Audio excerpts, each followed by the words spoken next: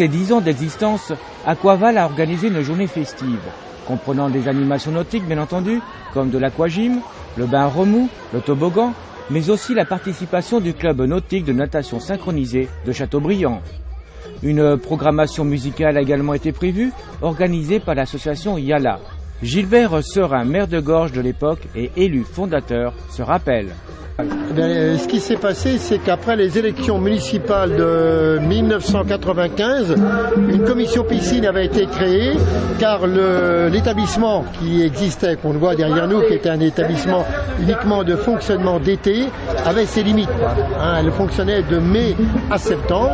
On voulait avoir une structure euh, plus efficace et notamment l'idée était surtout de faire en sorte que les scolaires, lorsqu'ils rentrent en sixième, aient tous eu un moment ou un autre un contact avec l'eau et même qu'ils puissent savoir nager.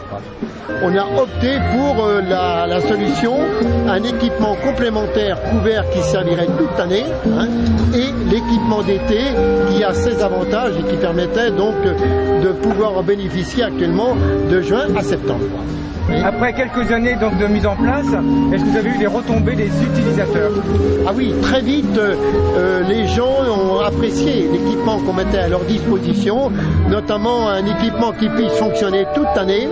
Et surtout, le, but recherché était aussi de trouver un équipement familial. Hein. et cet équipement familial euh, permet justement d'accueillir pas mal de gens aux vacances, les week-ends, etc.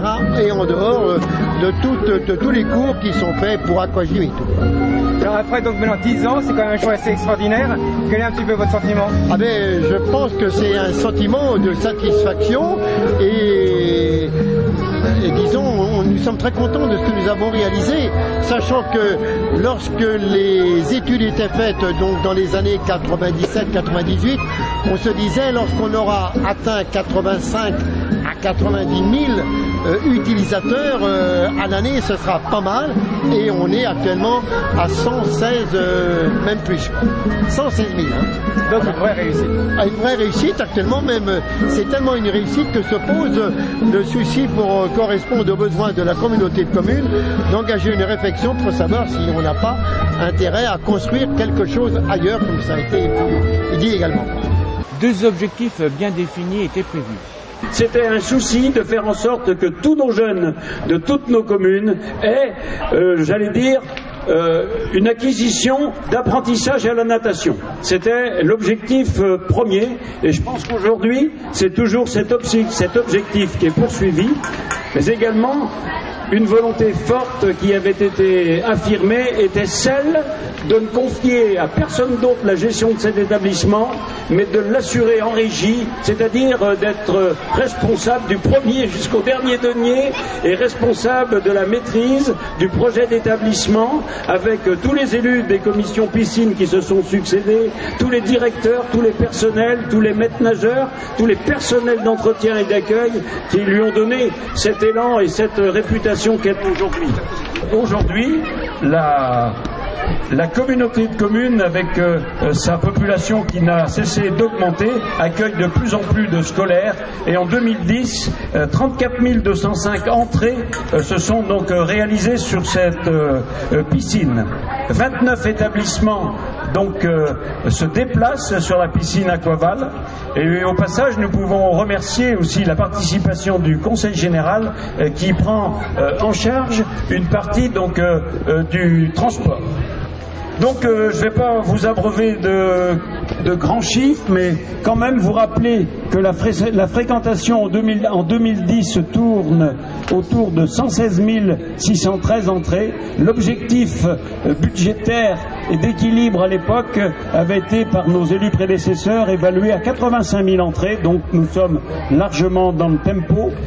Euh, quelques petits rappels euh, euh, pour situer le coût de l'investissement. On parlait en francs à l'époque et on était autour de 22, 23 millions de, francs, donc à peu près à l'arrivée de 4 millions d'euros.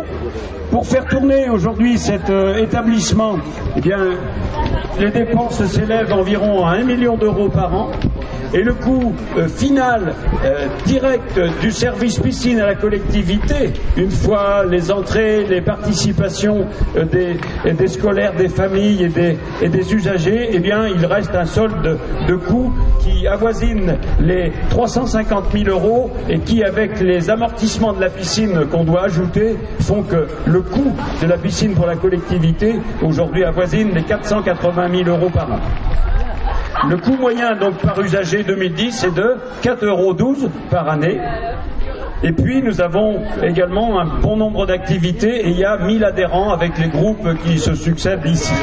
Victime de son succès, la piscine de Clisson doit regarder vers l'avenir. Donc comme on voit que la piscine arrive euh, à atteindre un nombre d'entrées qui n'était pas euh, celui qui est beaucoup qui, oui, qui est très supérieur à celui qui était prévu. Euh, donc on a lancé une étude sur le devenir de, euh, de la piscine, au moins pour accompagner les décisions qu'on prendra, puisqu'il va y avoir bientôt un nouveau collège, un nouveau lycée. Donc euh, il faut prévoir, on a les populations qui augmentent dans toutes les communes, donc il faut qu'on anticipe et qu'on prévoit au moins qu'on ait des décisions à prendre et qu'on sache comment les prendre. Donc il y a une étude qui est lancée euh, jusqu'à l'année prochaine,